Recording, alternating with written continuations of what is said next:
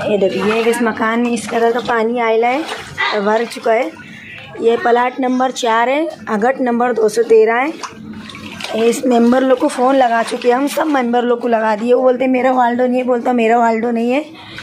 तो इस सबको फ़ोन लगा लगा के हैरान हो गए, वो बोलता मैं अब आ रहा मैं जब आ रहा ये देखिए, इस मकान में इस कदर का पानी भर चुका है, इनकी कोई हेल्प नहीं कर पा रहा है नहीं मदद कर पा रहा है। अब आपसे इतनी उम्मीद है कि इनकी मदद कर सके। अब इनकी मदद करिए, आप गरीब लोग हैं, इनके पीछे कोई सहारा नहीं है। और सब लेडीज़ ही लेडीज़ ही पसा रहा है। और गली में भी कोई नहीं है, आ रहा पा रहा ना कोई ध्यान दे पा रहा है। देखो इस कदर का पानी घुसने के बाद इस मकान में पानी घुसा है। आप इस मकान की हेल्प कीजिए, मदद कीजिए। आपसे इतनी उम्मीद है भाई।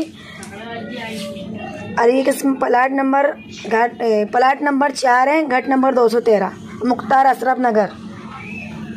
अस्सलाम वालेकुम भाई।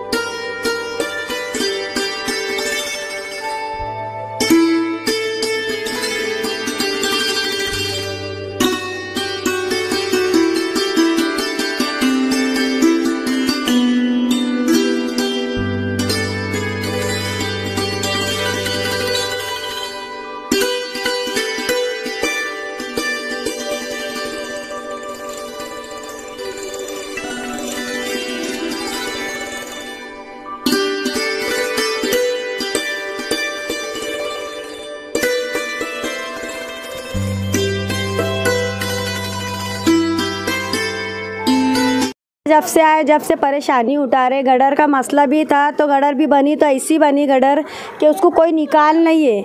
मतलब जब से गडर भी बनी तो घर में पानी चालू हो गया आना।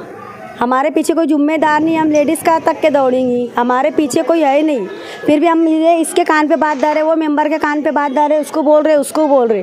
कोई बात की कोई सुनवाई नहीं ले रहा। वो बोल रहे कि हम आप आ रहे, जब आ रहे। चौदह साल से रह रहे घर में पानी घुसा था। हम तीन बजे तक के पानी फेंके घर में। हमारा बच्चा बच्चा रात भर जागा था।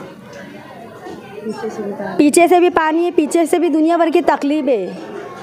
क्योंकि उधर भी कचरा इतना दुनिया भर का गंदगी है, पीछे भी तो पीछे भी, है ना, हम खाना खाने भी बैठते तो इतनी गंदी गंदी बात आती है कि इंसान खाना छोड़ देता।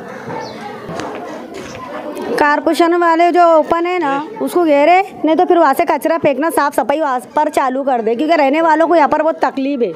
गंदगी ये भी साफ़ करा दो, ये पूरा रास्ता लेवर करने लगाओ जो गलत बने इसको सही करवाओ बस। हमको जो तकलीफ़ है हमारी तकलीफ़ दूर करवाओ। पानी का रास्ता निकाल। पानी का रास्ता निकाल करवाओ इसकी। रोड भी रोड भी लाइन से बना दो हमको मुरिम की तो रोड बना दो नहीं पक्की बना रहे होंगे तो।